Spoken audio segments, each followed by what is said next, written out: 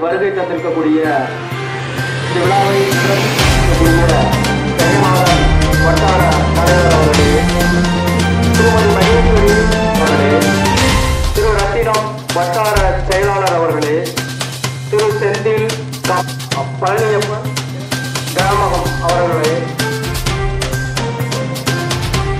நமது காமராஜர் பிறந்த நாளை முன்னிட்டு பங்கேற்கக்கூடிய parte del